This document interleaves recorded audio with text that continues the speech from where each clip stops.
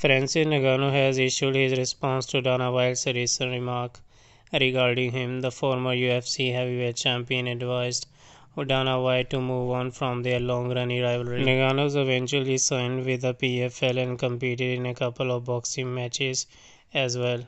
Earlier this month, he knocked out Renan Ferreira to become the inaugural PFL Super Fights heavyweight champion in his promotional debut. During the Power Slap 9 post-event press conference on October 24, 2024, Dana White was asked about Ngannou, and the UFC CEO claimed he was going to cut Ngannou from the UFC after consecutive defeat in 2018. He said Francis is all about the money and Francis left because he knew that if he fought Jon Jones and didn't win it would hurt his chances of making the money so on this, on the Sirius XMMM today, Francis Ngannou fired back by suggesting that Dana will likely be in praying for his downfall.